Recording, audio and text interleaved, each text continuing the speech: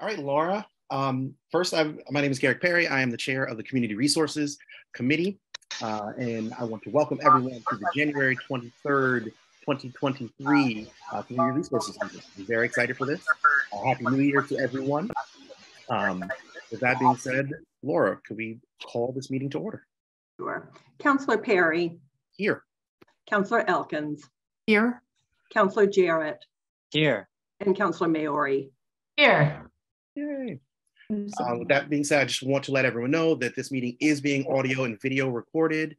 Um, I want to thank everyone for showing up. Uh, on our agenda right now, we do have public comment, but I just want to say that I know a lot of people are here for one of the agenda items. Um, and before that agenda item, we're going to have some public comment. So if anyone has anything to say other than about the item that is later in the agenda, please feel free to raise your hand and speak up.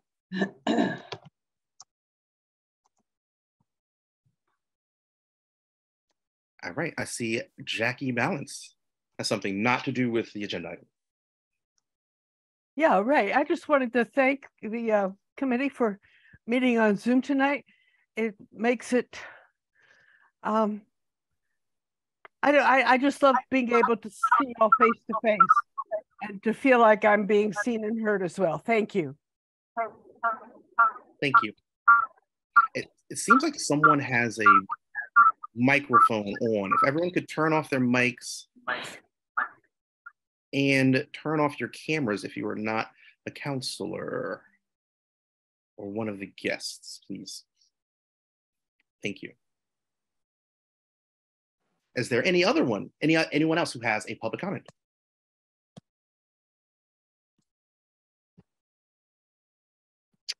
Seeing no hands raised, uh, we'll move on to announcements and updates from the committee. Does anyone have any announcements or updates?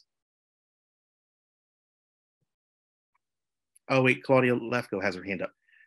Uh, all right, Claudia, you have to unmute yourself. God. Thanks. I panicked and I couldn't find the Mm-hmm. reaction button. So, so thanks. Thanks for having me.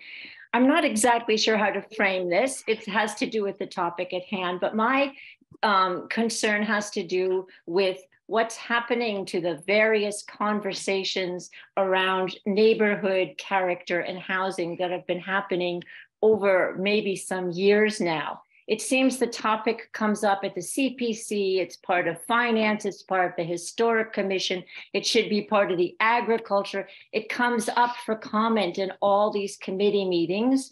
And what happens to who's co- collating all that? Because it's also coming up in neighborhood meetings. Neighbors are talking to neighbors, and actually, neighborhoods are talking to neighborhoods. Sometimes associations are talking to the mayor or to other people in the city council or the city government. And what happens to all of that? That's one of my concerns. Who's keeping track of it? And I want to know on, on that, about, you know, my, my concern, I guess, is about the Barrett Group. Is the Barrett Group hired to be this, this entity that's going to look at all these, like somehow coalesce all this and put it all together and then make some recommendations. And, and if that is the case, well, first of all, I'd like to know, is that the case? And then secondly, if that is the case, I want to express my dissatisfaction with this because somehow it seems the city insists on hiring these out of town consulting groups rather than establishing a committee that would be a citywide committee of professionals and city officials academics and the public that could actually engage with each other and come up with a way to develop a roadmap that's a bit more organic than somebody from outside the city. So if you could answer the question, I don't know, you probably don't have time now, but I'm just putting it out there about my concern about all the things that have been said now over all these years and through all these meetings. Who's going to put that into a roadmap for us? Thanks. Thank you, Claudia. Um, and your concern and question is noted. Um, and, and hopefully someone will be able to get you an answer to that. I know that I, I cannot do that right now. Um, is there anyone else, since, since Claudia snuck in, is there anyone else who has a public comment not about our agenda item? All right, that being said, we are back on the agenda and updates and announcements from committee members. Does anyone have any updates or announcements? I don't see any, so I will go. Um, tomorrow, Tuesday, January 24th, the Northampton Reparations Committee uh, in the Forbes Library is having a discussion um, entitled Why Reparations, Why Northampton, and Why Now? Uh, it is going to be held on Zoom from 6.30 to 8 o'clock. Um, and the guest speakers and panelists include Dr. Andrea Ayvazian, Dr. Ousmane Power-Greene, and Dan Kennedy as well as some speakers from the Northampton Reparations Committee, uh, Thomas Weiner, Dr. Sarah Patterson, Sarah Weinberger, and John Berkowitz are doing that. So um, if you guys are looking for some more Zoom action, please head over there and uh, check it out.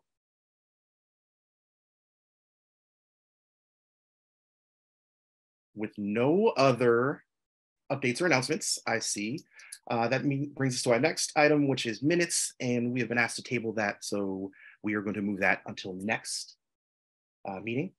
And that brings us to the real fun of tonight, which is our discussion on neighborhood character, energy, sustainability issues, um, building and trees, and our amazing Director of Planning and Sustainability, Carolyn Misch, has again brought us a few local experts to discuss this. We've got Dory Brooks of Jones Whitsett Architects and Northampton's very own tree warden, Rich Parasiliti, um, here. Uh, welcome everyone. Uh, does, before we get into this discussion, let's see if anyone has any public comments about this item. We are giving folks three minutes to talk about this. Um, and then there will be time after presentations and discussion to have a, a quick Q&A. Um, so does anyone have anything to say before we get into it? Jacqueline. This is our bitchy neighbor. I haven't seen her yet. Okay, hi. Um, can everyone hear? Yes. Okay, great. Thank you so much. Uh, my name is Jacqueline McCraner.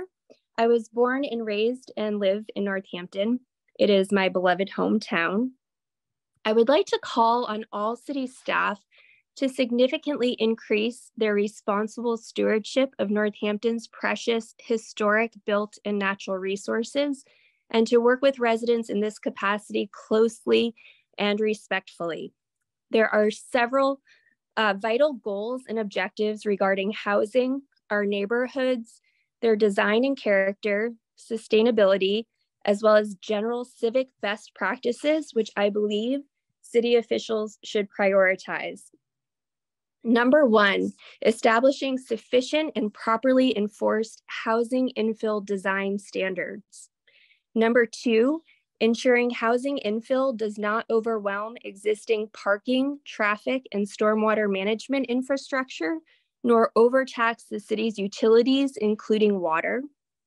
Number three, maximizing protections for healthy, mature trees on both public and private land. Number four, creating an official mechanism for Northampton residents to participate in the planning, permitting, and construction oversight processes regarding the development of our historic neighborhoods. Number five, conservation of green and open spaces. Number six, historic preservation at the neighborhood level. Number seven, creating neighborhood conservation districts, also known as NCDs. Number eight, requiring site plan review and special permits for all private developers, regardless of lot size. Number nine, saving our historic, modest, rehabable, moderately priced vernacular single family homes on single lots including our city's inventory of existing historic starter homes. Number seven, uh, I'm sorry, number 10, honesty, democracy, transparency, and accountability in all departments and at all levels of city government. Number 11, establishing deconstruction ordinances to responsibly deconstruct homes rather than adhere to the existing policy demolition, which leads to a high carbon footprint in order to cart debris to a landfill in upstate New York, since the Northampton uh, landfill is closed. Number 12, becoming a prominent leader in energy efficiency, renewable energy, deep energy retrofitting, sustainability, zero net energy homes, and in effective responses and creative solutions to the intensifying climate crisis. Number 13, upholding and properly enforcing the tenets of the Sustainable Northampton Comprehensive Plan 2021 and the Climate Resilience and Regeneration Plan just a couple more to go here. Uh, number 14, prioritizing the construction of low income Chapter 40B affordable housing as well as moderately priced housing. Number 15, welcome new renters and homeowners into our neighborhoods and communities. Number 16, respecting existing renters and homeowners in our neighborhoods and communities. Number 17, promoting growth, progress, change, and a prosperous, diverse, and vibrant future for all. And lastly, number 18, celebrating, protecting, and promoting Northampton as a historic city and destination. I'm a firm believer that we can be doing much more to achieve these goals, and that until city officials agree to work more closely and respectfully with residents, our city will not properly steward its historic built and natural resources to the best of its ability. Let's come together and work together to create the truly sustainable and prosperous future that Northampton and all of its residents deserve. Let's create a legacy together that we can be proud of and support Northampton and its resources so that many future generations can enjoy these same beautiful historic homes, downtown areas, streetscapes, and stunning natural vistas. Thank you. Thank you, Jacqueline. So uh, if I'm just going to interrupt just briefly, the uh, the blue sky timer was late to arrive, but has has arrived. so, and I don't see anyone else with their hands up. Um, Councillor Elkins, I don't know if you want to do an introduction to our guests or or a brief introduction and let them introduce themselves. I'll, I'll turn that over to you since you know them more than I do. Okay. Well, I, I tell you what, I will um I will uh uh actually, why don't we start um, briefly with uh, uh, Carolyn? If she, Carolyn, not uh, not to put you on the spot, but if you could just kind of briefly outline um, kind of the questions that we pose and the things that we let uh, uh, Dory and Rich know that we wanted to hear about, and then I'll we'll toss it over and let them introduce themselves and uh, let us know what they have uh, brought to share with us. Sure. Um, thanks, Councillor Elkins. Uh, um, so this is, um, as people probably know, this is a continuing, um, a continued conversation from November when um, the committee first started talking about the housing issues because you had um, been receiving questions and um, information um, from folks, and it seemed like it made sense to get people who um, could provide their expertise in sort of answering these questions about um, you know housing costs construction costs and really dive into um, the issues um, surrounding those types of questions. So that um, you covered that um, pretty thoroughly with a range of folks um, in november. And then the other questions that seem to have come up um, is um, sort of uh, individual understanding different people have different understandings of what community community character is and um, what we mean by that and what does the what does the long range plan mean about that? What does the zoning say about that? And um, many times um, there are varying uh, um, degrees of understanding of what that means. And um, whether it means you know if one new house comes into a neighborhood does that mean it's changing the character of the neighborhood?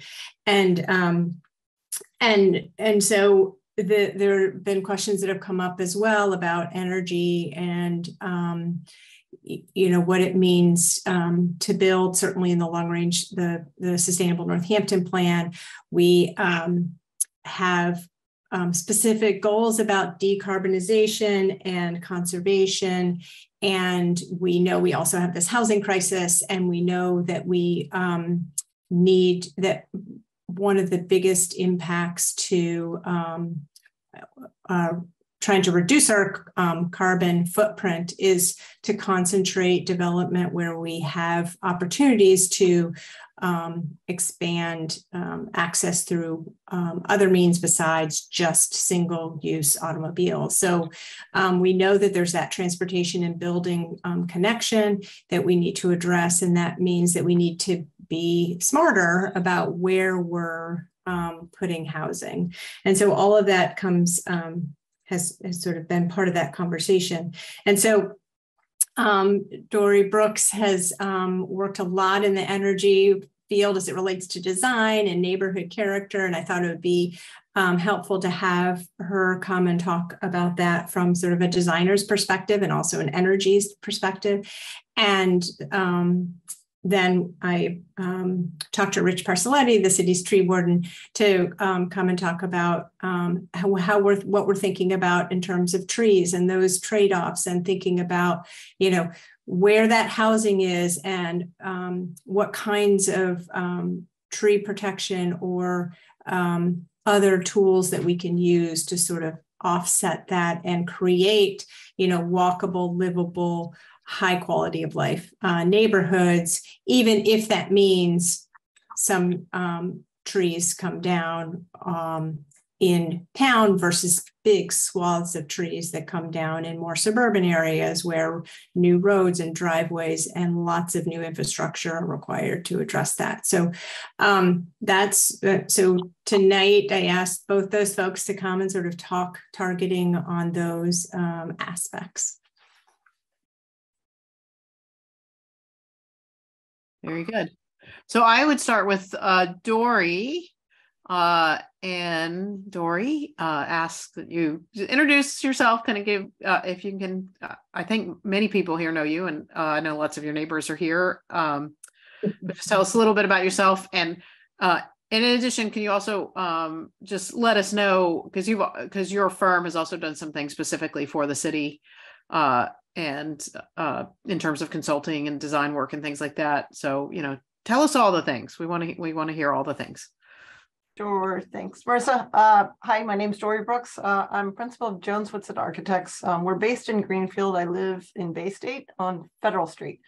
Um, and I'm uh, both president of the firm as well as currently happen to be just coincidentally uh, president of AIA Massachusetts, which is the Professional Association of Architects in the state which means that while I'm not here technically speaking on behalf of the profession, I, I have a little bit more angle or window on the professional positions relative to neighborhood development and um, carbon emissions and our policies towards carbon emissions and our policies towards code, uh, building codes, and can speak a little bit to some of those positions as well, because I think they're they're kind of relevant to the conversation that Carolyn asked me to speak to. Um, my our firm has been in the valley for 35 years or more, 40 years almost now. Um, we were predominantly a schools focused firm for a long time, but um, over the last 11 or 12 years, we've moved also towards focusing on housing. And as a res resident of Northampton, I was particularly interested in um, the zoning bylaw changes that happened maybe 15 years ago um, and how they were going to affect the city and got uh, involved um, with the small lots big ideas competition years ago that happened in Northampton and curated that program that happened at APE um, and then got involved with Habitat for Humanity exploring small infill development opportunities in the city as a way of showcasing what we could do. Um, and also partly as a part of that wanting to understand the, the economics of housing in this day and age. And I'd say, you know, behind all of this conversation is for me, the understanding that as a society, we've been essentially living off of borrowed time for a long time relative to the environment that we've been basically using oil and natural gas to, to afford a kind of a lifestyle that's pretty hard to afford um, uh, for our climate and our environment. And the, the kind of, we've, we've hit that point in our history where um, we're, we're having to make harder and harder decisions. And you see that in infill development debates where the cost of housing um, is up against the need for more housing, which is up against the need to um, to improve the the quality of the buildings we're building in order to not lose energy from those buildings unnecessarily. And all this is creating a stew of conflict. And I think our our neighborhood and our city are facing a lot of the same conflicts that the whole country is facing. Um, I, I'm going to take a step back and say that I got into architecture. Actually, this is a second career for me. And how I got here is actually that I was living in Madison, Wisconsin. And I lived in a neighborhood that Madison's a very progressive environmental city. And in that city, there suddenly was in, in our neighborhood an infill pressure when some public property was going to be sold on the market. And my neighborhood reacted in a really um, hostile, kind of anxious, anxiety provoked way against anything happening. And we we organized and, you know, kind of in a way sort of sharpened our own pitchforks to try and stop anything from happening. And it became a very adversarial relationship. And it really could have been detrimental to the city as a whole. But what we were lucky to have happen is that the city had invested in neighborhood organizers um, because they wanted to strengthen the neighborhoods in the city. And rather than, you know, as, as um, Claudia was mentioning, rather than outside consultants, this organizer did a great job of helping us actually facilitate a conversation about um, broader issues so that it rather than it be what's what am I afraid of happening in the neighborhood, it became a, larger understanding of what we needed in the community and brought parties together. And and we actually kind of over many years actually managed to successfully create uh, a, a, really uh, wonderful project that was ended up developing a parcel that was a remnant parcel into you know um, co-housing projects and community gardens. And that was kind of remarkable. None, none of us saw that happening. But we had to first own some of our um, hostilities and own each other's issues and that's what got me interested in architecture at the time um, and it's why our firm kind of thinks of ourselves as community builders more than just architects. What I'm interested in is not offering a design solution to people, but actually seeing people come together um, to work together to figure out design solutions. Um, so that was just kind of backdrop um, so that you understand where I'm coming from, I think. Uh, I want to just jump in and share a couple images. And what I want to talk today about uh, is, is my perspective as an architect and some of the ways architects are looking at these issues today. Um, because we we share many of the same concerns, you all do, um, but we also have a lens on it that I think not everybody else does, and that is actually having to be the people who draw the buildings, draw the designs that the buildings uh, that you see get made um, and and some of the pressures that we're seeing happening on our side that are regulatory. I want to talk a little bit about um, what I see as uh, the role, the scope that we have as a community to define some things, like what do we get to regulate, what don't we get to regulate. And we're, you know, I think in this committee, you all have talked a lot about regulating um, the, the, the shape and form of zoning, um, the streetscape, um, and that's one area of regulation, but uh, there's another area of regulation that we collectively control, and that's within the, the building envelope um, through building codes. And I think those are actually also relevant to this, but you might not have thought of that. So um, I'm going to jump and just share a couple images, and I didn't really plan this, um, uh, you know, over a great deal of time. I just pulled some things that I thought were interesting to talk from. I'll try and be quick. I'm not always quick. Um, so uh, if you all can see this, I'm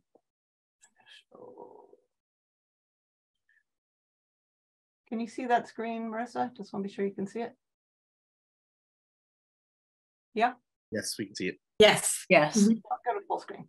So this is uh, on the left is a 1736 image of Rome. Um, and it's interesting because I love architectural history, um, but it's it's kind of significant to architects and planners because it represents a kind of a change in perspective at a period in time when people weren't ever thinking from that perspective of looking down at the city.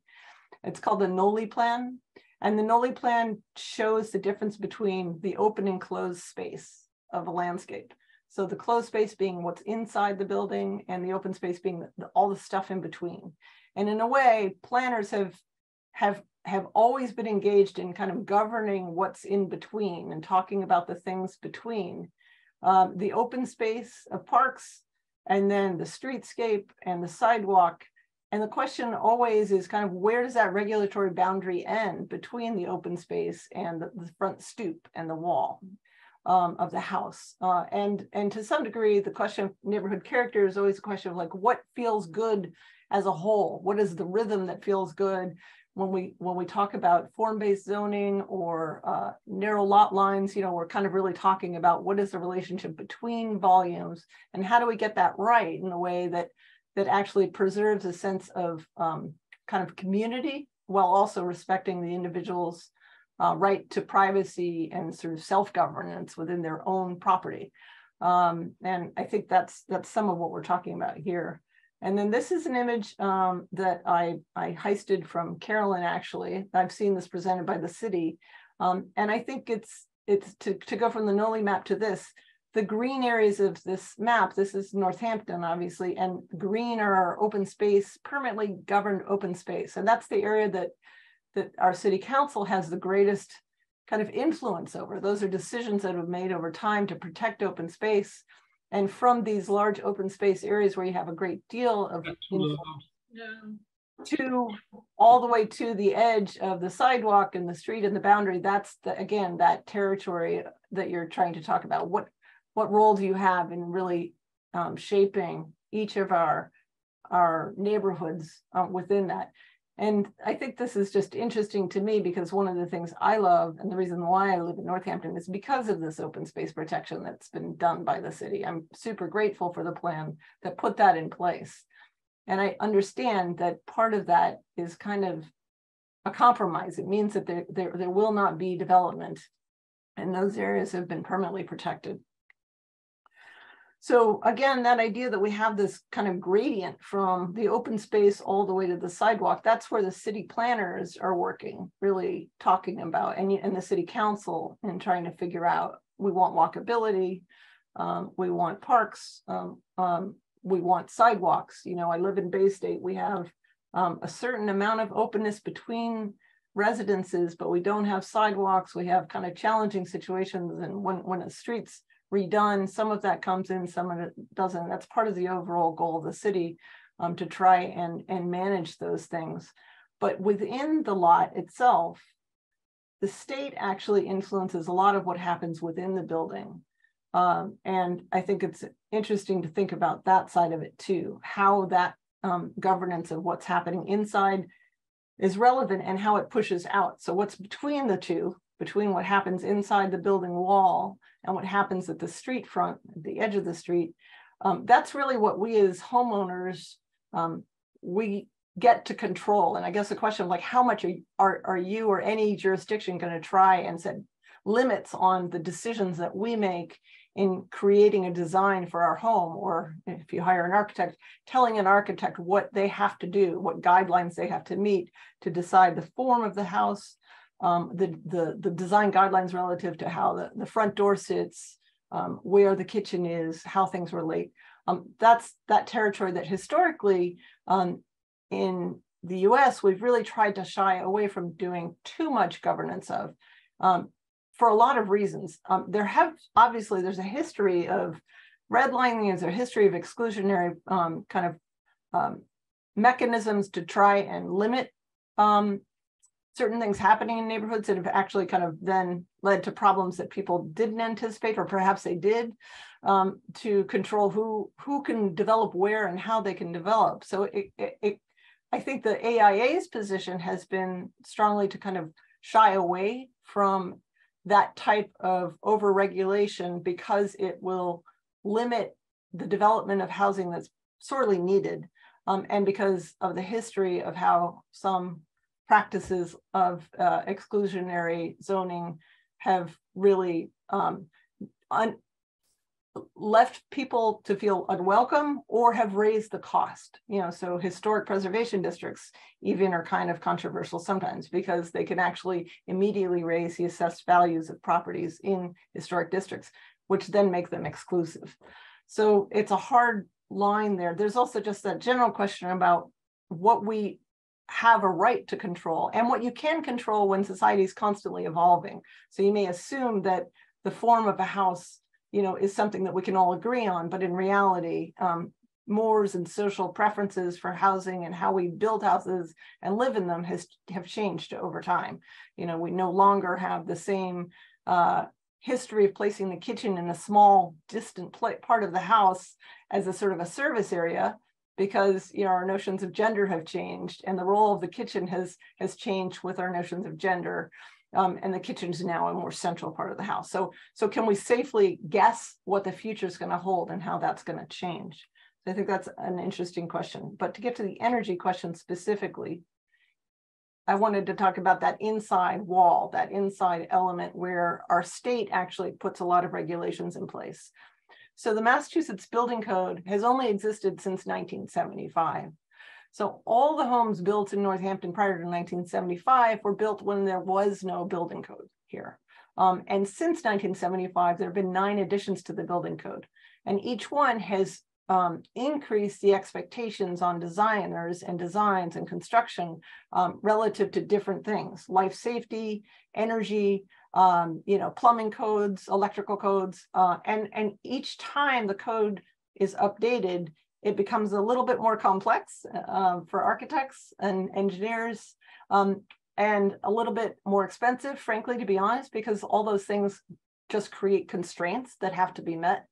Um, but they've all done it's done that for good reasons and the the energy code and stretch code are a particularly good reason example of why code is valuable so we all know the code is there you know for life safety reasons but for stretch code um, which recently actually passed again so we now are on our second stretch code i think um, the 2023 stretch code what we've been aiming to do collectively is um, reduce energy waste um, by having rules in place that influence how we design a building.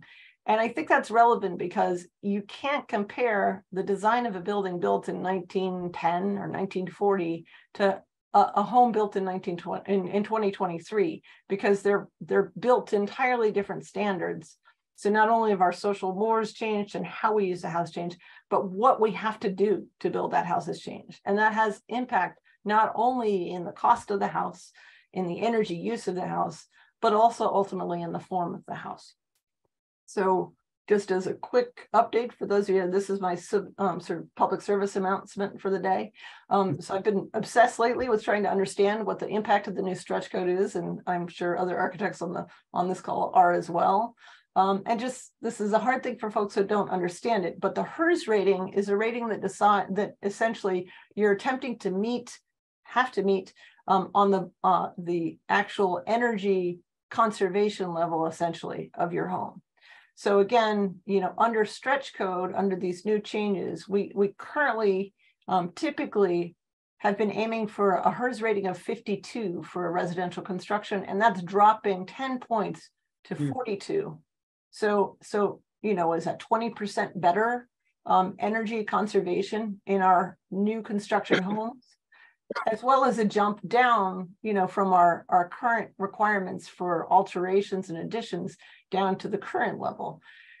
Now, that's kind of hard to follow if you're not an architect probably or a builder. Um, but but what that's meaning is that we have to actually construct the walls of the building differently to seal the house and the floor of the building differently and the roof of the building differently in order to try and air seal and conserve energy by putting insulation outside the envelope of the house um, and keep it as sealed as possible. So a home, my home, you know, here in Bay State, you know, is a 1940 home built prior to the energy code with a four inch stud that had zero insulation. And I've spent, you know, years now and a lot of money trying to get it to the point where I could achieve that kind of rating. And I, I could not, even after probably spending, you know, I'd say over a hundred thousand dollars on insulation and solar panels, I could not have achieved the HERS rating of the new stretch code for new construction, maybe for renovation, but probably not even that. Um, because we just don't have this wall thickness you know, available to us for insulation. I'd have to, to build inward or outward to create this level of insulation. We're talking continuous insulation on the outside. This is just a, a typical wall that we, we do nowadays for residential construction. And a six inch construction wall infilled with insulation in the middle, insulation below the slab, and significant insulation above the roof uh, in this in the attic area. Um, and those those things are are kind of pushing out and shaping the house. I'm not saying it's necessarily making the house, um, you know, a thousand square feet bigger. It's making the wall bigger, and it's it's impacting how builders build, um, because they're not only trying to achieve this, they're also trying to meet the needs of your typical, you know, single family or or couple um, for the kitchen to be where they want it to be, the bedroom to be sized the way you want it to be. And I think all of these things are pushing costs up. And that's part of why we, we feel that pressure, that new construction that sometimes doesn't seem that, um, that um, satisfactory aesthetically is actually kind of impacted by the, the requirement that it meets these things, you know, and compromises are being made in places that a lot of us don't want to see made. Uh, but it's it's a it's a reality that builders, I think, are facing. Um, so, you know, this um, Jackie shared this image with me in email today, and and I, I I thought it was interesting because it actually kind of illustrates all of the things that I've been talking about so far. It illustrates what I, I know here in Bay State we feel is a tension around this new construction, um, that the area between buildings, you know, is really important to the sense of character. Um, and that's true, but it's also occurring partly because of um, some of what's feeling like a pressure for builders to meet a market desire um, for a single family home while also meeting the, the, the energy conservation requirements of that construction uh, that is very, very different than this house over here that is kind of being compared somewhat, somewhat in my sense, in my view, falsely being compared to this new construction because this home was built in an era when there was no need for insulation, no requirement. Um, there was no requirement for this kind of wall, and, and times were different. Um, so I think the ideal of building houses to this scale that are as energy efficient as this, um, that are affordable, um, is going to be very, very difficult. You know, so it's it doesn't seem as possible as we might hope it would be um, without tremendous subsidy and creating constraints on that could make it even more difficult for us. So I think it's an important conversation you're trying to have about how we balance these things. And the more we can do collectively to have a conversation that, again, uh, poses a willingness to listen to all sides and, and kind of own all the issues, I think, of open space and energy conservation and housing requirements and housing needs, you know, the more likely we are to kind of come to a resolution as a, as a community as to what makes sense. So I'll, I'll stop there if that's. We'll leave that, I mean. Yeah. And maybe if anyone has any questions.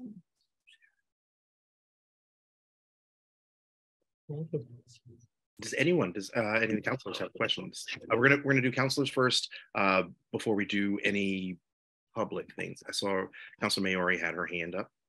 Yeah, thank you. And thank you, Dory. This is, I'm finding this fascinating. It's such a great foundation, excuse the pun, for um, for, you really, I find it, I'm finding it very illuminating. So I'm just trying to clarify, are you saying to, to kind of uh, make um, housing and um, buildings more energy efficient, uh, they actually have to be physically larger? I mean, because the walls have to be thicker, or you saying, you know, to is that what you were um, saying I, with that?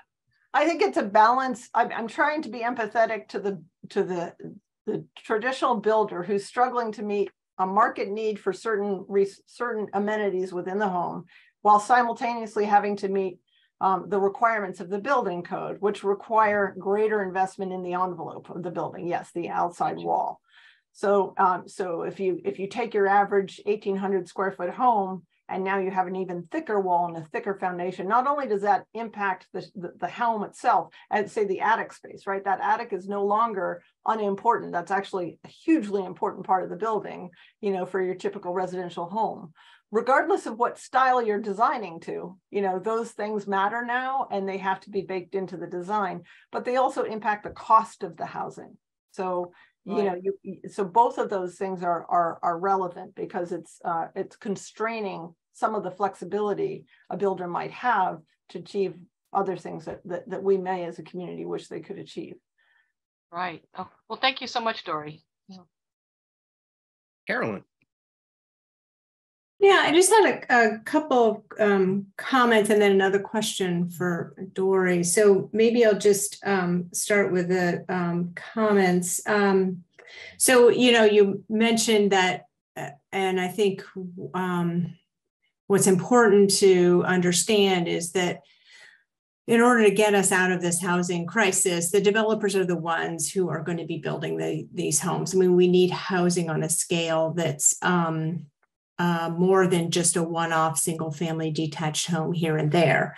Um, and I think the question you raised, you said, um, you know, who can develop with the rules about who can develop what, when, and where, and who decides, and the concern about um, dipping into some exclusionary practices that um, we have all experienced as a country and understand that we don't want to go back to those days where we're picking, uh, selecting a few people um, to determine who gets to come in what neighborhood and how what the standards are for that neighborhood. So one of the things that we try to do in the regulations is sort of create that balance.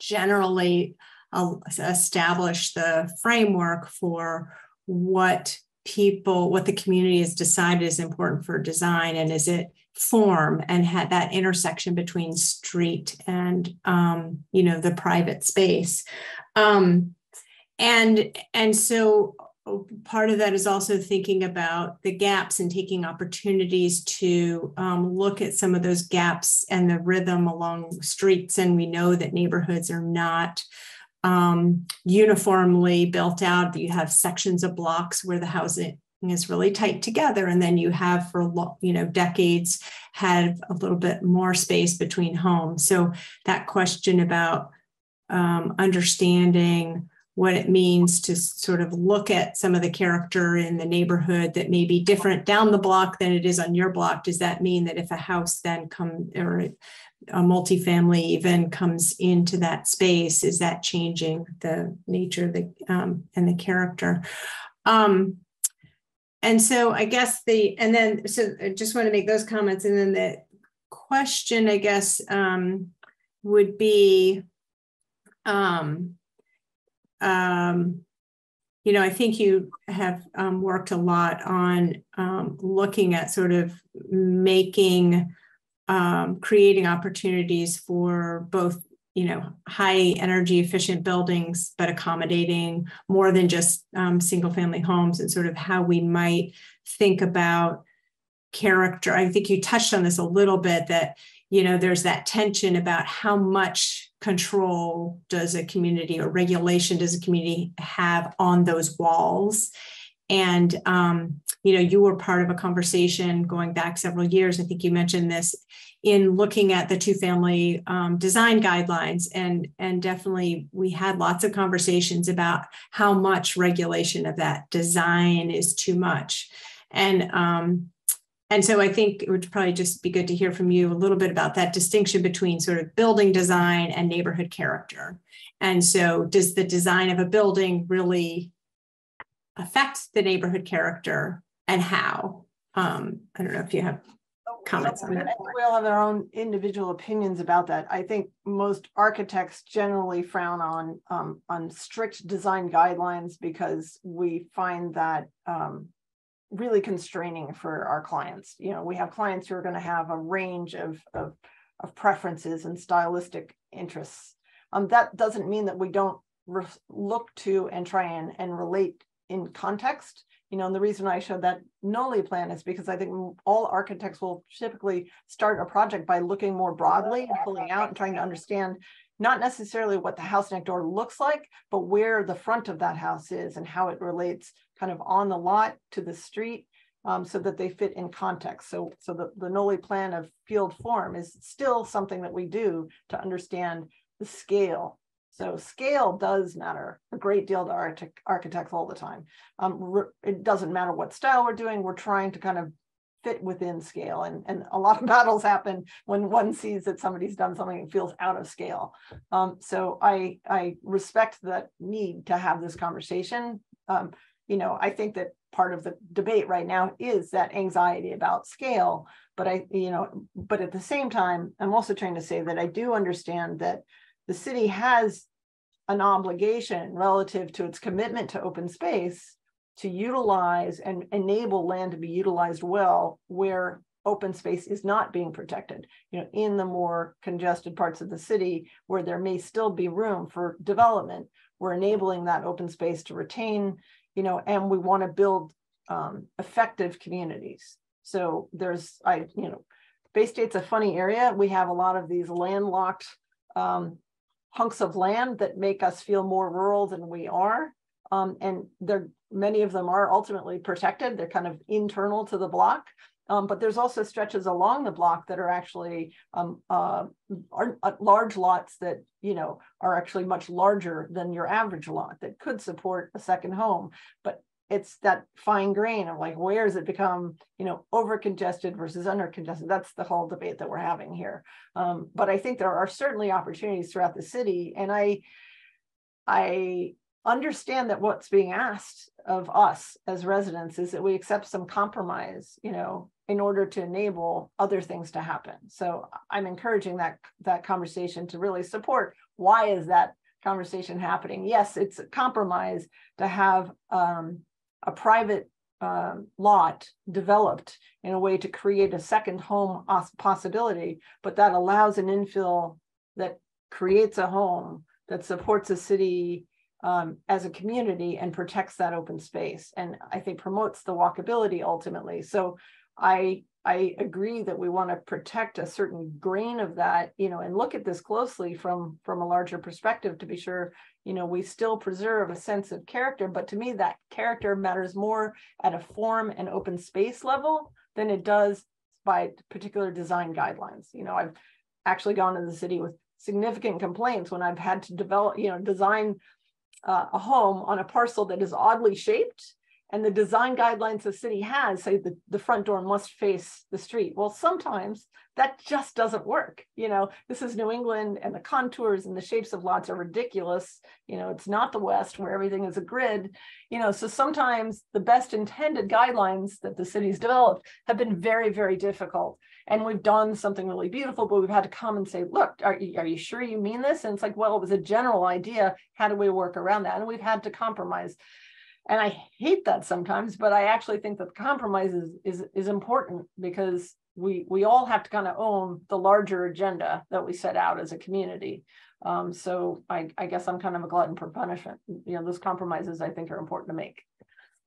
Um, so uh, yeah, I'm, I'm generally I think most architects um, are anxious about design guidelines because they they're overly restrictive um, and I think from the back to the historic character thing, for me, the point I'm trying to make about building today is that um, it can be a bit of an illusion to think that you can um, reproduce um, homes of a different period where the standards and the mores of society and the building technologies and the cost of materials were entirely different than they are today. I just don't think uh, that's a very realistic prospect. And in in in in kind of promoting an unrealistic idea of a sort of historicist ideal, I think we're we would actually be making a really um, restrictive um, condition that would make it difficult for us to create homes for people. And I'll also say our firm investigated working on single family homes with Habitat and also worked with a developer on Grove Street to create to try and explore affordable multi-unit small scale homes. And in both cases we were really disappointed to see the cost of doing that. You know for habitat the only reason it was possible is because the labor was free. If labor had been a part of it the housing would not have been affordable. You know the the single family home uh, that was an 800 square foot home it really doesn't hit the price point for the person individual who wants to live in it without that subsidy of, of free labor that habitat's providing you know, and in the the the other development, it was a, a private developer trying to create modernist homes on Grove Street that that I designed. And they they they had a they aimed originally for a much lower price point, but they also wanted um, you know a very high insulation value and wanted not to have um, natural gas in the project, so they wanted all electric uh, resources and uh, heating and cooling. Um, and that project ended up far beyond what I would consider affordable. You know, so I just understand the pressures that developers are are facing. And it's why our firm has stopped doing that kind of work and is now focusing on multifamily because it's actually the most resource effective way to produce housing. That's not to say that, you know, that that's a different conversation entirely, but I, I think Northampton has been really uh, progressive in trying to promote, uh, you know, affordability in multi-unit housing, while at the same time um, protecting open space where it can, and protecting, you know, walkable neighborhoods, um, single-family home and you know, two-family home neighborhoods.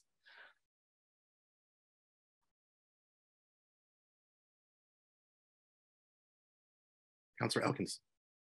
Dory, uh, could you talk a little bit more about your, uh, it's, I found it interesting that you had a personal experience, but uh, also, um, you know, obviously sort of beyond that, uh, but about retrofitting homes. Um, I, I, it's been argued by many folks that sort of the costs of and the, the associated costs of uh, of demolition and sort of the landfill cost and the waste cost re, um, relative to um, new construction that what uh, it's been suggested that that retrofitting is obviously more um, efficient and and it's it seems to me that uh, it might cost that the costs obviously seem a great deal more for new construction but the um but i'm intrigued or i'm interested in what you have your thoughts on the idea of whether or not we could ever achieve with retrofitting what we can with new construction.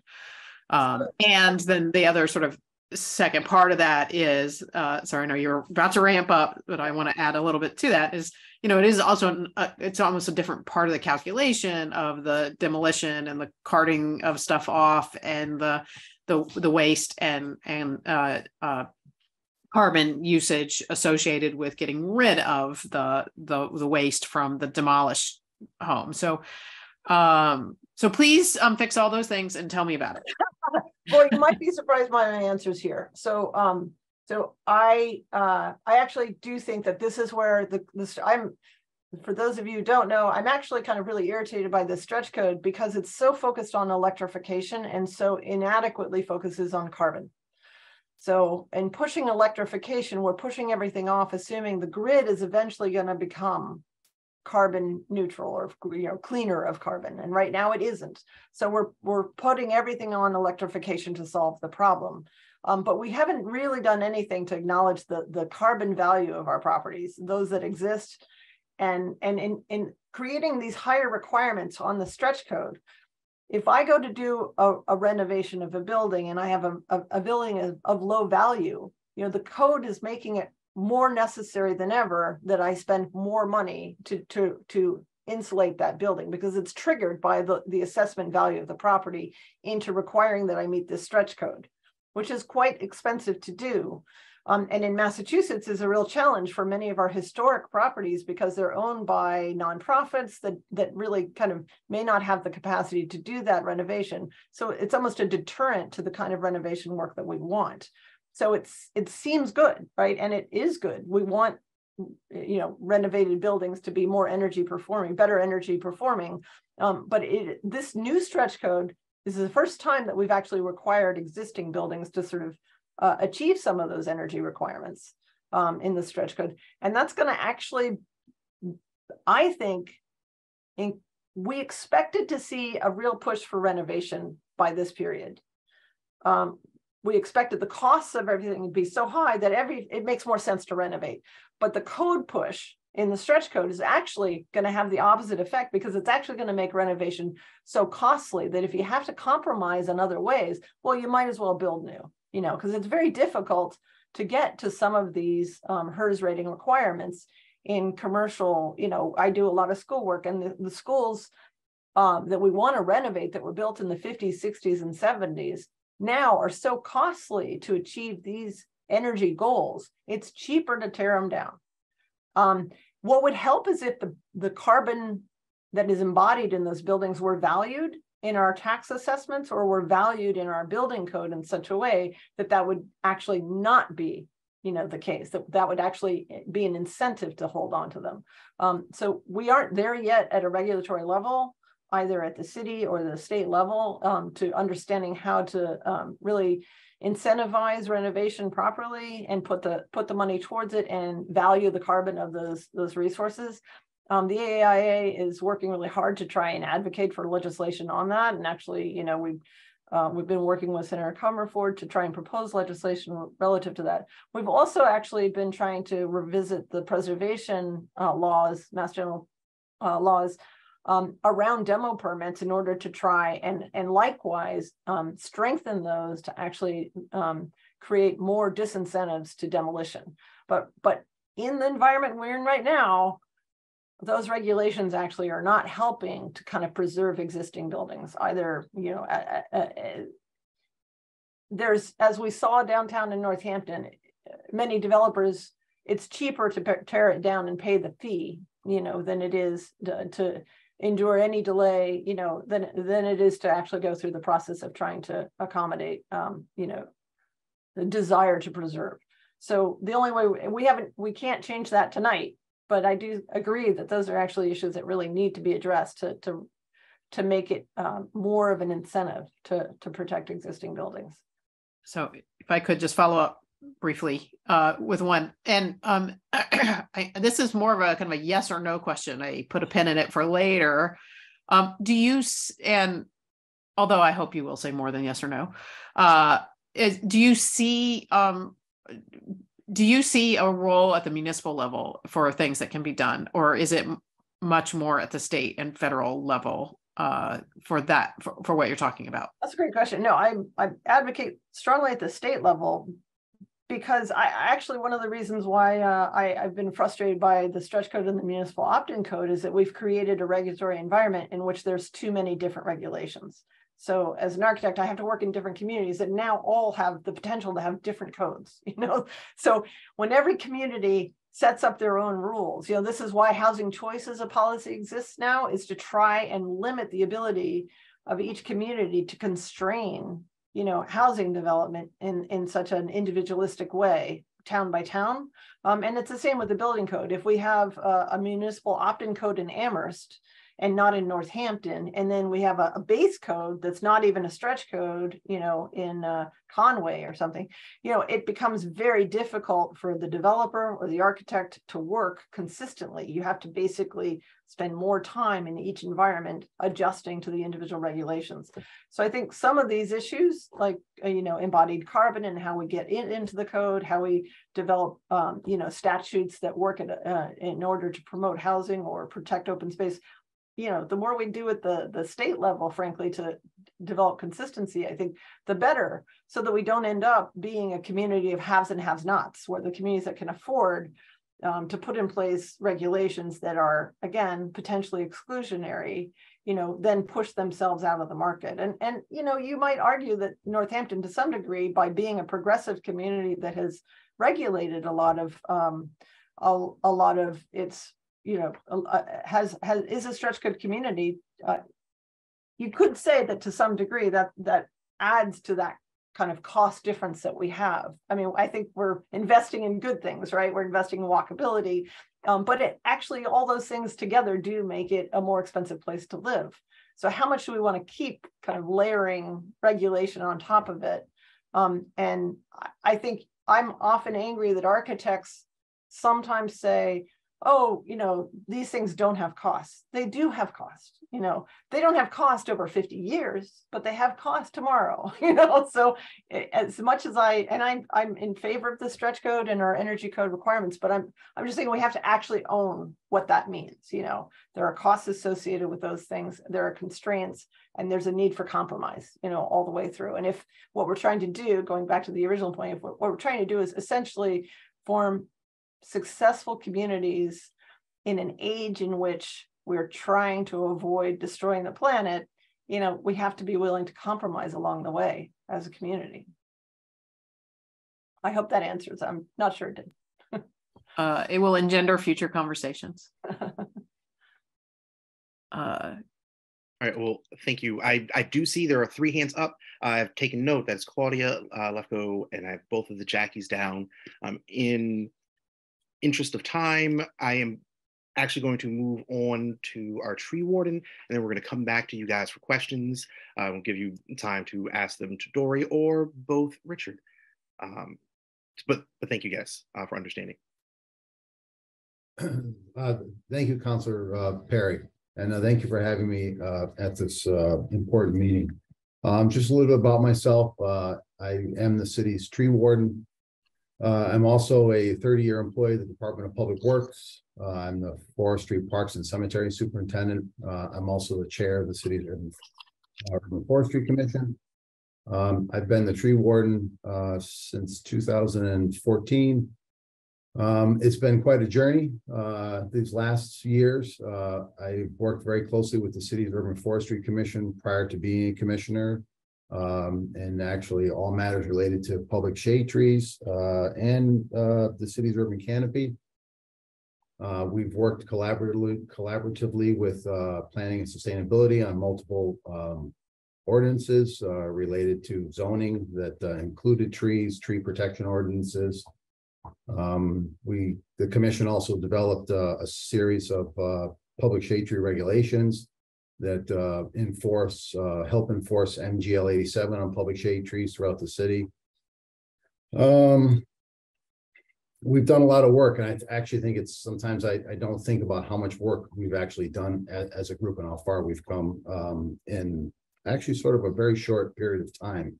Considering that when I first came here in 1989, there was no urban forestry program. Um, there were no tree protection measures. Uh, the city was not planting uh, any trees, and if they were, they were very um, minimal in comparison to all the tree removals that we have done um, uh, during that during that time frame. So, you know, I I basically I don't have a presentation uh, other than I'm more than willing to take uh, questions uh, from anyone who has questions.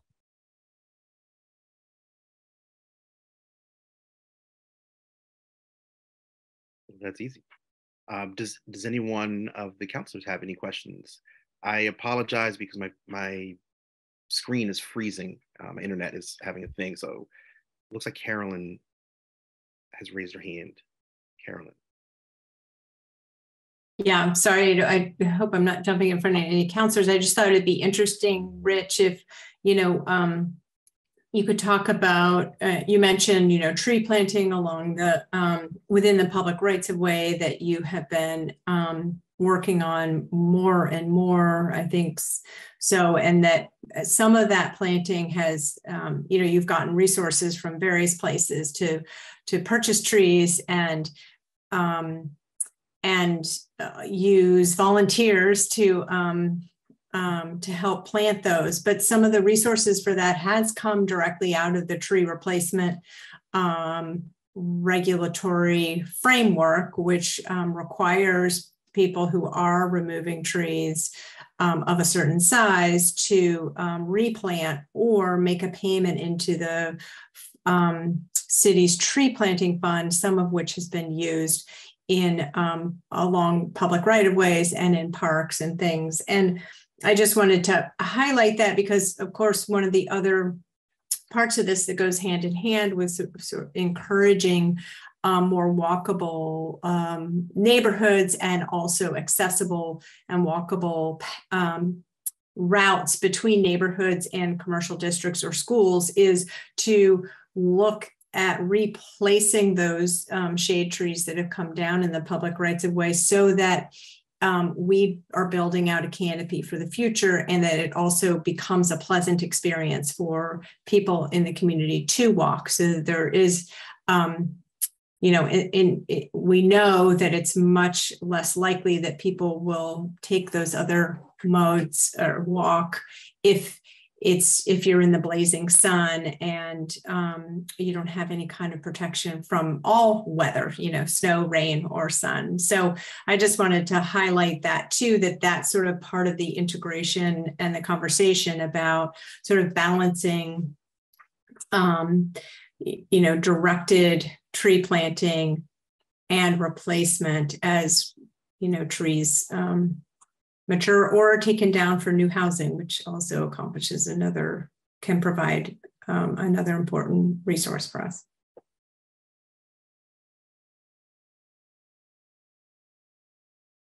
Thank you, Carolyn. You are correct. The, the Urban Forestry Commission developed a five-year uh, planting plan. And one of the priorities, the main priority of our planting plan was to uh, relief uh, streets that actually had direct um, routes uh, to school, um, any uh, type of uh, bus stop, bus shelter. Uh, We also identified places that had been, had tree removals that were not, re- were not replaced. uh, to try to help mitigate the city's urban heat island. Um, we just worked uh, hand in hand with planning sustainability to uh, replant trees along Main Street in Florence, where we actually used a combination of structural soil as the sidewalk panels were replaced and removed. Um, the contractor put structural soil back into the, uh, the tree wells and we planted, I think, eight new trees uh, along in, in Florence. Uh, and, you know, we, we've tried to the, the commission, um, you know, uh, one of the things that obviously being an arborist, I mean, there are, um, and I wear multiple hats, but it's interesting because I, I was not an I'm not an arborist by trade. That was not my, uh, what my uh, degree was in college. I was a, had a degree in plant soil sciences and I was a turf guy.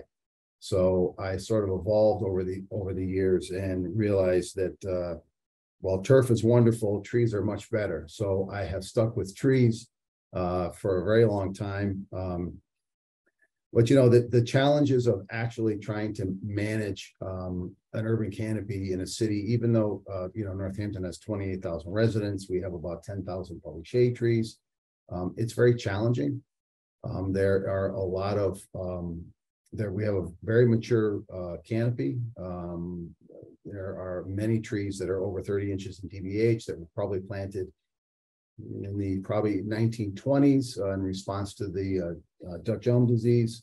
And um, pre- some trees previous to that in response to uh, the chestnut blight, although I don't think they planted too many chestnut trees and street trees. But managing, trying to manage that canopy and provide and find a balance um, with with all the other draws on the infrastructure that we have um, and especially the topic that you're talking about is, you know, new home construction, by right construction, density housing, and also um, projects that fall under uh, the uh, significant tree ordinance that are in the purview of uh, the planning department. It's, it's quite a challenge. Um, and I find it very challenging at times to, you know, when we, we try to preserve mature trees in the best possible way that we can, but they, mature trees, housing footprints, driveways, uh, ADA compliant sidewalks, they're all trying to basically occupy the same space. So it becomes very difficult when you're trying to, uh, construct something that is static infrastructure. All while trying to preserve dynamic infrastructure, because the way that I try to look at trees, um, and I look, and I try to. Explain this to folks wherever I can, whoever will listen, is that trees are, you know, they're dynamic, they're, they're living. Um, they are, they, they, they cannot move. Um, and they are a piece of infrastructure that is just as important as your fire hydrant, as your water main, as your street sign, as a telephone pole. And I think if, if we have, if we look at them um, as more of a, a, a dynamic asset that is constantly working twenty-four hours a day, seven days a week, I think, you know, people hopefully will will think about that before they actually want to either remove that tree or severely trim that tree.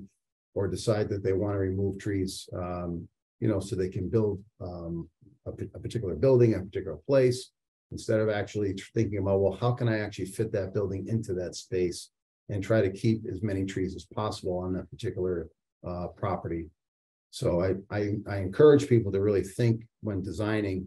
Um, and I'm not a designer, I'm not an architect, but I really would like people to think the, the long game about trying to actually find this natural balance between the needs of density housing, for example, and uh, the existing canopy um, that surrounds these places where density housing is being constructed. So those, I mean, there's all kinds of challenges. I mean, there's challenges uh, with the drought actually is, is another very scary challenge. I read an article in the Washington Post the other day about the city of Sacramento, California, that has uh, been uh, very proud to have uh, thousands and thousands of very mature uh, street trees. This last storm they had that came off the coast of California, it, the thousand street trees were destroyed and, and fell into people's homes. And, and one of the reasons these street trees are having this issue is A, because of their age, the constant drought, um, the constant heat. So these large mature trees, their root systems really start to shrink as they get older because the tree can no longer support them. But you have this multi-ton tree next to your side of your house or in the street. And we have uh, an unrelenting uh, weather patterns these days. And so you have trees that potentially uh, can fail. So it's it's really it's, it's sort of like being like a doctor. You have to manage these things and sort of and, and you know you can't ask the tree how it feels. You have to sort of diagnose it all, and then you're trying to trying to prevent uh, damage to root systems during construction, trying to provide proper tree protection, trying to educate folks on proper tree protection measures. Uh, I deal a lot with contractors and trying to get them to uh, um, think about uh, air spading and root pruning root systems before they stick an excavator in the ground. So it's it's very challenging, very busy, uh, very exciting. Um, so it's you know I I could go on for hours, and I don't think we have hours. So I think I'll just and Dory, I Dory, where's Dory? She's here somewhere. Dory, you're really very interesting and uh, very interesting segue. Uh, thank you, and to what uh, what you're talking about. I, I find that I learned so much from listening to folks. Uh, I think it's important to really have a dialogue about this because again, we're we're trying to find the best possible solution to balance the existing canopy that we have, the existing infrastructure that we have, and also find um, the right level of, of density housing or the appropriate housing to meet the needs of residents while trying to make this a very sustainable community. So it's definitely challenging, but it's ex it's really important to have this dialogue. Councilor Jarrett. Uh, thank you. Thank you, Rich. Um, really appreciated that, uh, the detail there. Um, I had a quick question about, you know, about, about the census, kind of the census of trees and how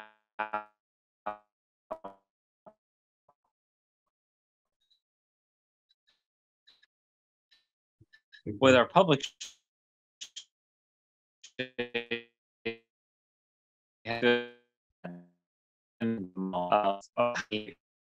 Alex, I'm not.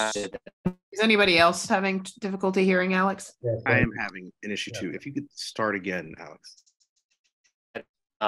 Maybe if you turn off your video.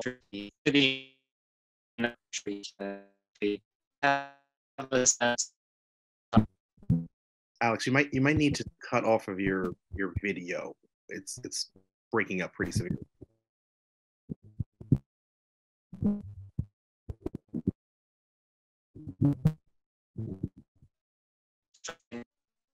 There's a little peak going uh, on. Yeah. I, I think that problem. I'll raise my hand when it seems to be. Sounds like auto-tuned. Hello, Max Headroom. For, for those uh, older, uh, well, I got I'm looking at the average age. I don't think I went out of the range here. No.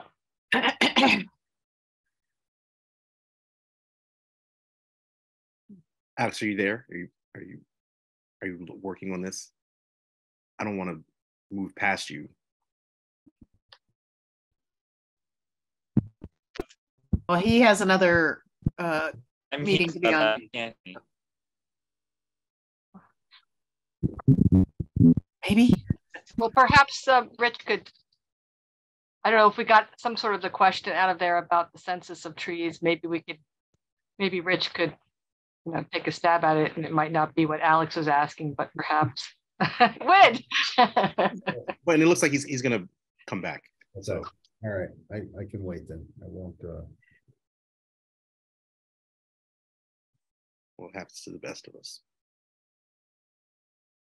Um, maybe while Alex is uh coming back, if I I have a this is a st- kind of a straight up arborist question, not not a big uh picture question. Um, so Rich, I know um when I was on the planning board, um, and I and I've also saw I think recently one of the hill towns lost a bunch of trees, and there was uh and and there were folks who were talking about how the replacements at the sort of uh, thin diameter um, that is required is you know just no substitute for of course these old trees which of course they're not but I wonder if you could talk just a little bit about that. I feel like um, we were up against that a lot on planning board where people, you know, very earnestly wanted to save trees, but when a tree had to go, they were very disappointed. They're very disappointed and and not incorrectly would talk about how that's not a direct replacement and how many years it would talk for the carbon offset to, to equal the tree that was cut down. Um, and of course, um, we learned some things in the context of that uh, in terms of what kind of tree can make it and what you know and the the risk of planting bigger trees. So if you could talk just briefly about that um, i'd like to hear more about that.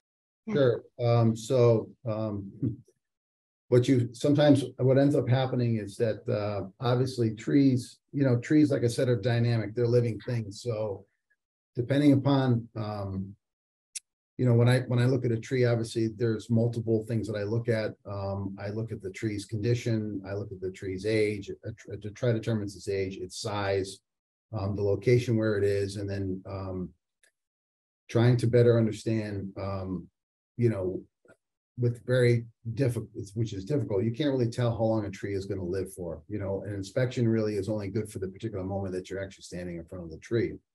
Now, with that said, um, you know, we, we make every effort to try to preserve trees um, during construction projects.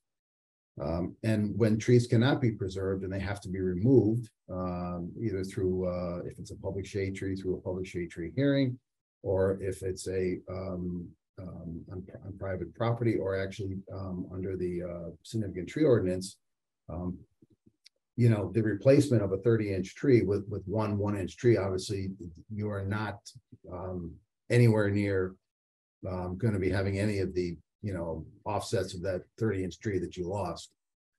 Um, it's very difficult because I think people, um, and including myself, are very concerned about the fact that we are losing these very large trees at a time when we actually need these large trees to hold this sequestered carbon and continue to operate to sequester as much carbon while also providing all the other benefits that they provide in the urban environment. So really, I mean, uh, for for example, the uh, Urban Forestry Commission, um, we have a um, um, tree a tree mitigation scale that we use that uh, we we measure the diameter of breast height, which is four and a half feet off the ground, and we determined how many one inch trees can fit into um, a 30 inch tree. and so if someone were to ask uh, to remove a public shade tree and the process move forward, um, they would have to pay for the mitigation for that tree at that four and a half inch, four and a half foot level off the ground um, area. That does not include the canopy, that does not include the maybe large codominant stems that it has. It's just that small area. So um, it, it, would take so many trees to replace a 130 inch tree. Um, there would there would not be enough place to plant them all and so it becomes very it becomes very complicated um, or very disheartening is when when you see a large tree being removed because of some development or and and then you come back and there's only two or three trees planted in in in, in its place. I, I think one of the things though we have to remember though is that we we cannot replace the tree in its entirety but whatever um, the construction code is for the particular building that's being built may actually have some offsets um, that that that that tree, uh, you know, if that was not the construction didn't happen, there are some offsets that that particular construction may have for the tree. So you could actually reduce the amount of trees that need to be replaced. Um, so it's a very, it's a very difficult conversation. Um, the reality is, is again, as I said earlier, it's a compromise.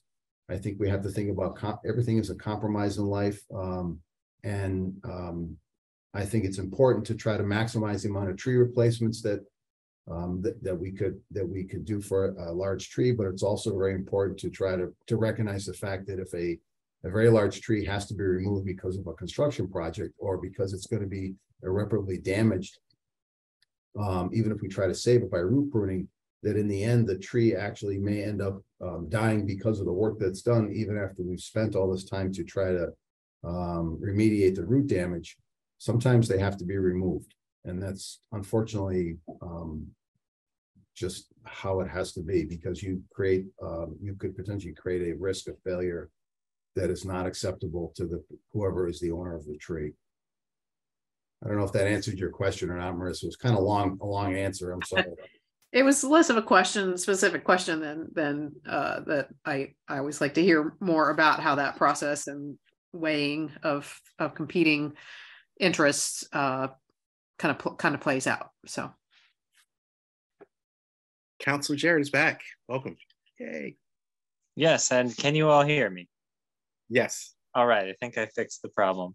Um, so yeah, my question had to do with the census of understanding where we were at, um, both with public shade trees, which I think we have a really good idea of the census of public shade trees, but our overall tree canopy in the city and then our urban tree canopy, um, do we have a sense of how much we're losing or and how and then how much we're replanting?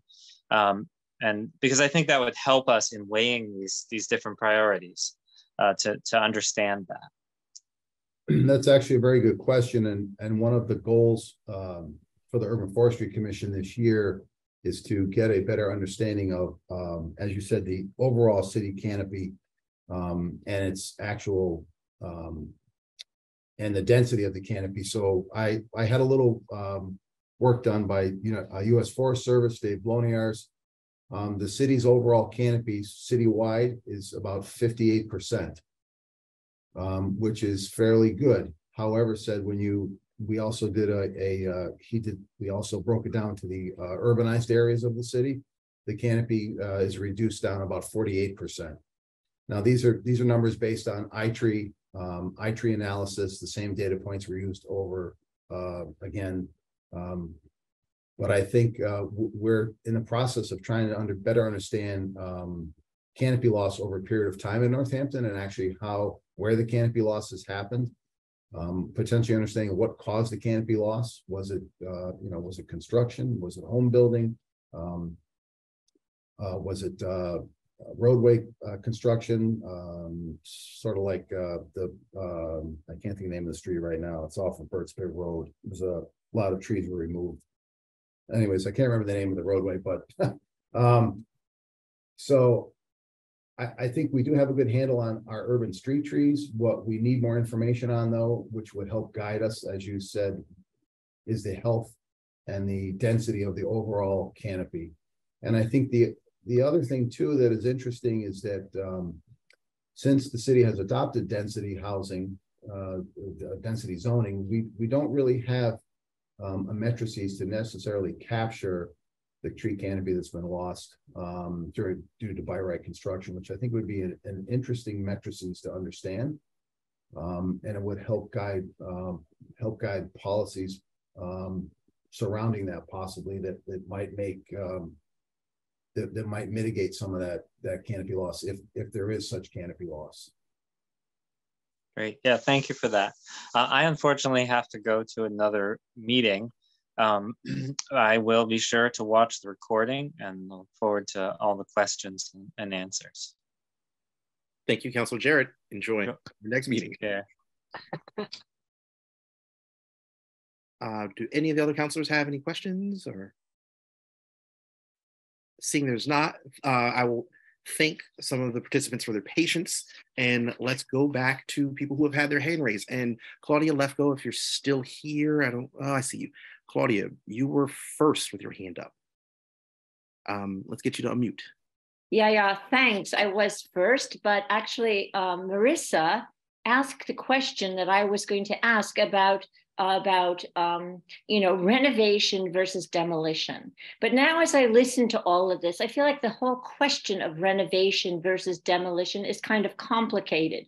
So I'm not in Bay State. I know a lot of people are are dealing with Bay State issues, but the question when, when you demolish a house in a neighborhood like I live in, in Ward 3, this small house, the famous 107 William Street, What's going to go up there is a very large structure, and we don't have the infrastructure to support it. So we're incurring, I would say, extra expenses by demolishing the house rather than keeping a small house that was it wasn't even a thousand square feet and and and renovating that to to get it good enough i mean i guess there's some code demand that you have to bring it up like i'm very scared by your story uh, of how much you've invested to try to, you know, insulate your house. But you know, you hear what I'm saying. The cost you're losing, you're losing the the the streetscape, the view of the streetscape for the neighborhood. You're putting additional pressure on the infrastructure, which may have to then be changed in response to the fact that you've demolished the small house to put up this big one. And so, you know, I guess it's it's a balancing act, but but it's for for me, it it seems like we cannot raise ourselves up to these incredible standards that are being put forth. That better if we could bring everybody up a little bit to be very energy efficient, to use less energy, to improve the sidewalks in a neighborhood so that people could actually walk where they need to go or ride the bike. Because as it goes now, these quote unquote insignificant houses are being knocked down and it's well and they're not being rebuilt for who knows what reason right now. But i'm just curious what you have to say about that. It's not just so easy as the new house. And in fact one last thing that i've read a study actually that that compares these this 23 reasons that uh, historic preservation is not a bad idea. I don't know if you know the study but they claim in here that actually any house built any building be, built between before 1910 is actually more uh, energy efficient and sustainable than any new building you're going to build now in terms of the long-term cost the cost of all of this. And so so it's not so easy as just oh yes do this. Yeah? So i sorry it's a complicated question.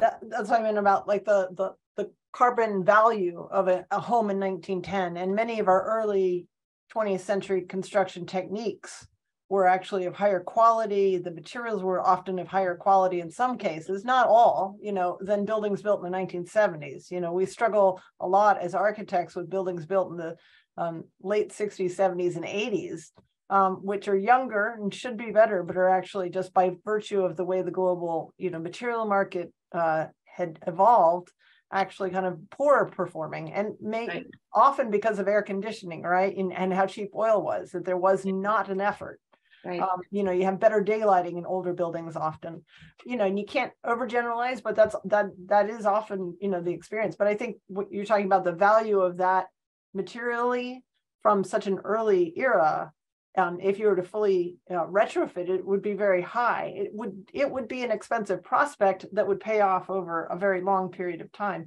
But i mean the unfortunate thing is claudia we don't get to decide what uh, that private homeowner in that small home you know we can't force people to to keep these you know kind of inconsequential houses as you're talking about you know.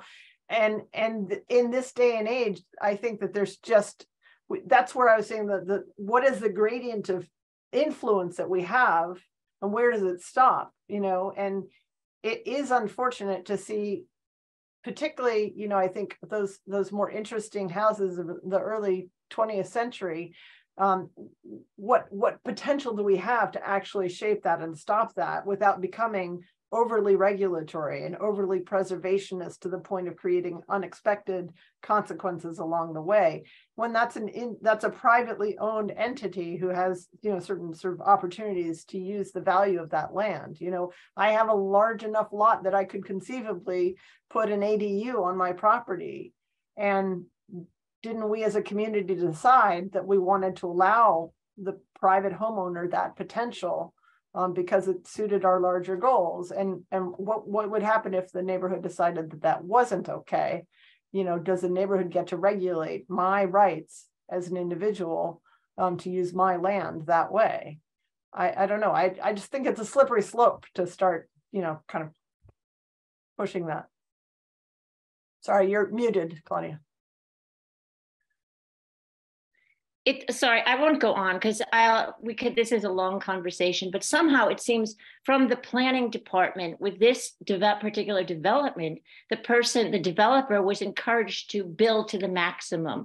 And so i guess what the people in my neighborhood might be looking for is from the planning department or city councilor or whatever entities that are doing this, the people who decide this was an insignificant house, that there's some some brakes put on it while all the pros and cons are looked Right. at. Especially in, be- and that I think is an overregulation. I think that is wiser regulation. Mhm. And I'll, I'll just quit with Yeah. that. But thanks And a lot. I do, I do think we need, what we probably are agreeing on also is that if there were more, more ability, more incentive to support um, retention of existing buildings, that would be helpful. And we are lacking that. I, I strongly agree. And in your neighborhood, I think, I look at all those beautiful large homes that are much too large for an individual, you know, and at least we're creating ways that they can, I think, be appropriately reused to support more than one family or, or household.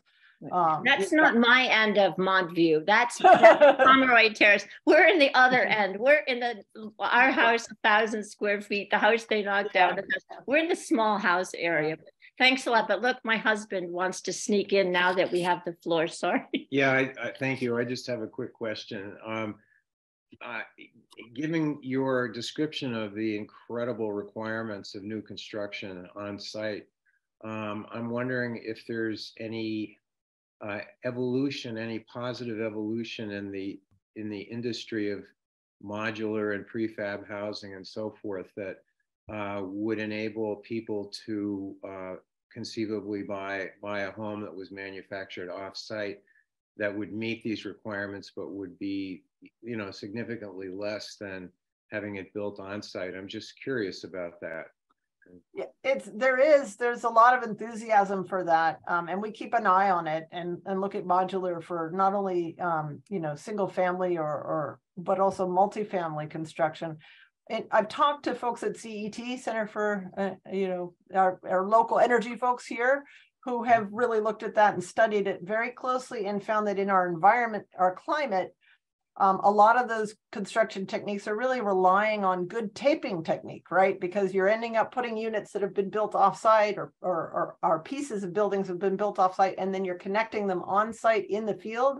Mm. So you're really relying on how are you how are you masking over those seams essentially, and do you trust those technologies? So when they've done uh, uh, blower door tests, that's been the weak point.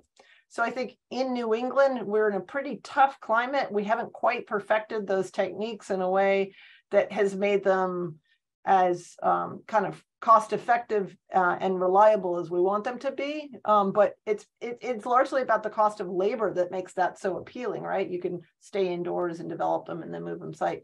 And eventually the cost of labor gets to the point where that's going to make it even more enticing and, and we'll see more of it for sure. Mm. Yeah. Thank you. Oh, I made it back. I was about to take, I was about to take the Uh, reins, but go Thank ahead. you, thank you for being there. Um, Jackie Balance, I believe you were next. Just gotta unmute. There we go. I know we're over in overtime and uh, it's been a great discussion. I want to say a few things real quick.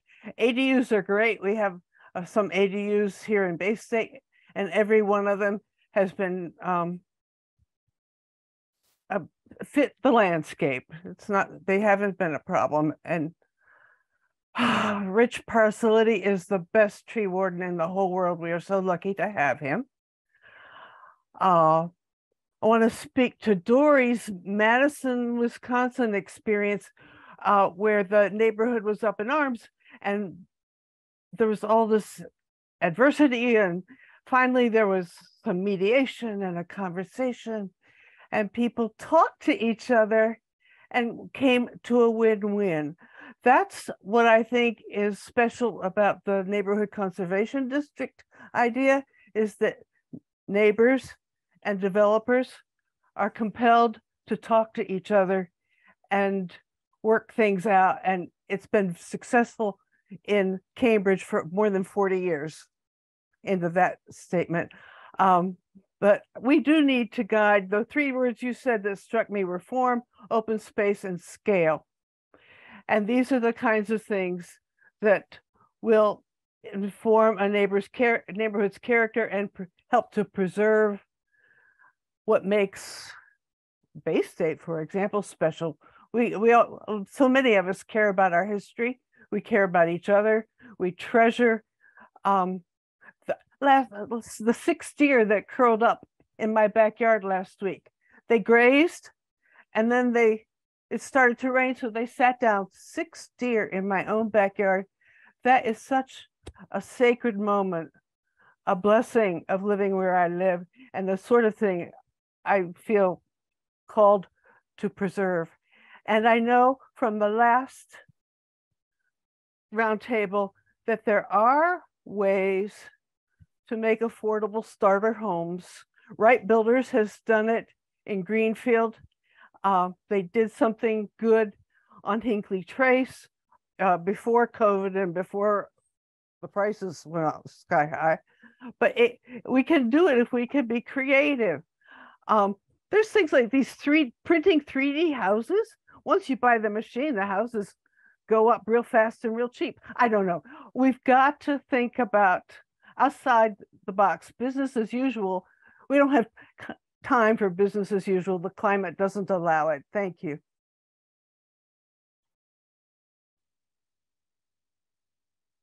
All right, it looks like there was no question in there. Thank you, Jackie. Um, and thank you for trying to keep that one brief. I'm going to say again, we're, we're nearing the end. Uh, Jacqueline, you are next.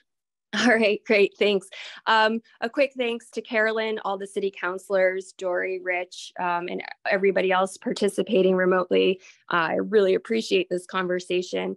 And Rich, I'll be super excited to see um, the stats that come back on determining what the tree canopy and how that what it is and how it's changed um, since the 2013 2014 uh, urb uses by right and zero or reduced lot line zoning ordinances uh, were implemented but i agree um, i think less than wanting to uh, um, set down in really hard terms what people can design for their homes or not. That's not so much of an interest to Northampton residents, I don't think. I think we are more concerned about scale and setbacks.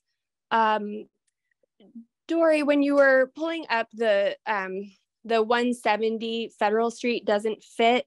Uh, I think that Jackie Balance had sent you. I was I wasn't sure if I understood correctly or if it was a bit misleading because you were saying it sounded like that those two homes that were built, um, it wasn't kind of fair to compare them to the existing home that was sort of set in the background on the on the right hand side of that photograph. Um, saying that you know the walls of homes need to be thicker now for energy efficiency due to the stretch code if i have that correct but um, you know, uses by right, the, the 2013 URB uses by right and reduced lot line zoning ordinances have reduced drastically setbacks. And so maybe um, that comes into play with that particular um, image and what Jackie was trying to say with the doesn't fit. Um, but also another question or a question that I have for you, because I too haven't um, heard before of the stretch code affecting existing structures to this degree, um, where they need to be brought up to high levels of energy efficiency. It, does that kick in if the renovation is 30% or more, or is that any renovation that's done to a home now it'll have to be brought up to a really, you know, high level, the stretch code level? I um, I actually haven't looked yet on the residential um, addition renovation level. I've been focusing mostly on the commercial side, and that would apply in the, the commercial side. Yes, that if you are doing 30% of the assessed value or 30% of the area, you would you would trigger that. So that is new, and that's what's kind of tipping that up. I mean, for good reason, just right. just going to be difficult consequences. Um, so would and, you yeah, you have no uh, idea whether uh, residences will have a threshold? Be, it should be applicable there as well. And uh, Elon's on the call, I see, and she may have already looked at some of some examples because we all have a variety of different project types and clients, but I believe it would be applicable as well. I can actually get back in touch with you and let you know. Um, that would be lovely. I can I can reach out to you uh, in the coming days. Yeah, and it actually the good news is that the the residential code um, triggers they actually sort of stagger in, so it's not immediate. It, it's kind of go it, it, they they lift over time over the next year. So Okay. until July 2024. So that's helpful. But um, yeah, if you're thinking about um, your own Right. you know, it's, it's important to know. And I Yes, think I'm starting I to sweat. you know, as good as they are, it's also very difficult for the the building commissioner to manage all this complexity of regulation as Mhm. well. So Dory, I really appreciate you too speaking to um, working with Jo Comerford uh, about um, incentivizing Mhm. uh, rehabilitations and renovations. Is there a way for the public to be more tuned into that discussion? Um, I'm sure that um, Jo will speak about it as as she unveils her next, you know, next set of bills. Um, and I think it's I view that bill, particularly the one focusing on carbon, as something that's going to be kind of a slow burner because there's just a lot of education that has to happen. And frankly, it's one of those things where there isn't a standard within the in industry as to how to um, how to account for um, carbon and life cycle analysis. Uh, so I think it's going to take time for that to really be done well. And I'm I'm kind of active on it simply because I want it to be done well and not just be kind of rushed out in a way that because I think sometimes we we do things for the right reasons, but um, but without the the due diligence necessary, and we can see the challenge. And, and Whoops. I think you muted. Oh, yeah. sorry, I hit the bar. Yeah. Um, yeah, and I, I can't really speak to the 170 Warner because I'd have to look at it from a different perspective. I, it- it's certainly true that the zoning has has changed the lot lines, and I know the there's been a lot of discussion about where's a, a zero lot line or uh, and I think that that's the conversation the city's been having uh, and in adjusting that. And I, I think that's an appropriate conversation to be having um, in this group and as a whole. And, and we do have to come to agreement. As I said, on a property we were working on, the lots are very different in this city because of the topography. They're, they're, it's not as easy as um, might be assumed when um, uh, a zoning regulations put in place. They don't always apply everywhere well. And I think 170 is an example of how, um, you know, the, the specific characteristics made that really difficult. It did not feel probably as everybody expected it to. Um, so that's a conversation I think continues to be had, but that that is different than kind of um, I think creating a a preservation district that that prohibits um, some of that infill from happening potentially. So I think there's a range of solutions that we're all just trying to talk about. Awesome. Thank you. Oh, well, last thing I will say that just um, kudos to Alex is discussing uh, ways of looking at affordability as a whole that are different, right?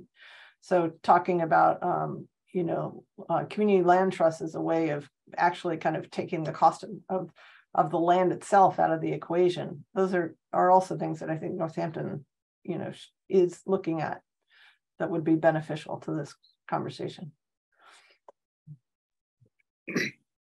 Looks like we have one more hand, and that's John Hansel. Good evening. Um, I'm the person who built the house on Warner, in fact. And the problem I see right now is the fact that everyone wants their cake and eat it too. Um, I always get the thing about saving trees, but then everybody wants solar. Basically, what does the city of Northampton want? You can't have both. Um, at great expense, and Councilor Elkins can attest to this because she's on the planning board when this happened you know, I had to keep the trees over at Six Warner Street. It cost me a few thousand dollars because I had to aerate them, like uh, Mr. Parasiliti said. And I had to protect them and you know, fence them in. And then the buyer came along, and the first thing they said to me is, I want those trees down, I want solar. So you, after spending all that money, they went down anyways. Um, it's, it comes to a thing where you can't have everything in life. You have to accept that something's gonna go. Uh, it's, it's just not gonna work out. And then the thing is also where the fact is, you know, th- they're talking about the, the cost. The cost to build right now is astronomical, and now they're adding more cost to it. And people always talk about the cost of wood, which has come down, but they really don't talk about everything else that's gone up so much.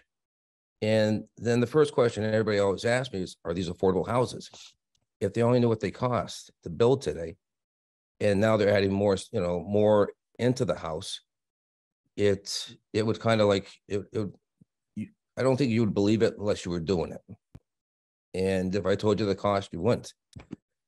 Uh, it's just, there's so much going on right now where everybody wants their own agenda and you can't make everybody happy. Uh, you know, it's just, uh, and when they talk about saving these old houses, I took down number sixty-one Warner Street. Who are these people that are gonna come in and fix them up? Who's gonna have the money to do that?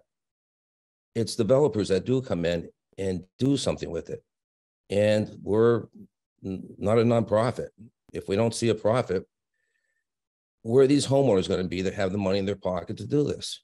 You can't, there's just so many things I'm hearing that don't really make sense, because even with Wilson Street going down.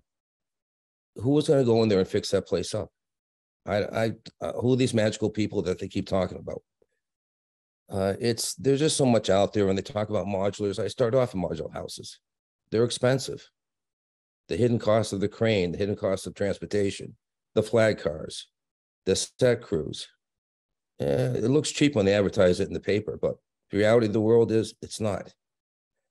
And that doesn't even get to the fact that the, like they were talking about, the passing the energy codes. There's just so much out there right now that people just don't always understand it. And I save trees over at uh, Liberty, Eight Liberty and Riverside. Now that people bought Eight Liberty are saying I should have cut down the tree. And they want the tree down. And I'm like, if you only knew what I went through at some of these meetings,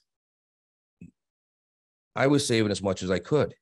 And even though one came down in a windstorm, and I still think they're, I don't think they're safe. It's, you can't have everything. And try to make everybody happy is never going to happen. More so in Northampton than other places, but it's a, it's, it's a juggling act. Thank you. Thank you very much. Um, seeing no other questions, uh, I just want to thank both Dory and Rich for coming to this meeting. Um, and I also want to thank Carolyn for organizing not only this meeting, but the last one. Um, I know that I am still swimming with all the information from the last meeting, so now I have more things to think about now. Um, and I also want to thank the public for coming to, for turning out for, for this meeting. I think this is a very important discussion. Uh, one of my reasons when talking with Councillor Elkins and Carolyn Misch about doing this was to have this as sort of uh, the start for these conversations and to also have a record for for people to look back and gather and gather this information. Uh, it's one of the, the things that comes with the pandemic and these recorded Zooms is that we do have a, a an actual record, um, you know, that we can kind of piece together and parse out. So um, thank you everyone for being a part of this. That will close up our discussion on neighborhood character and sustainability issues. Um, our next item is items referred to committee. We have none. So then we have new business. Does anyone have any new business they want to bring up or discuss? All right, I, I know uh, particularly myself, I, it's a new year, so there should be some new business. Um, I, I would like to sometime in the future bring in uh, some representatives from Northampton Vibrancy Project to kind of discuss some of the things that have been going on in our city around, you know, dealing with the issue of some empty storefronts and things. So, um, you know, that's something I, I would really like to to do, and hopefully, if, if you guys have anything that you want to bring up in a meeting, feel free to you know message me and, and let us know. Um, with that being said, I would entertain a motion to adjourn. So moved.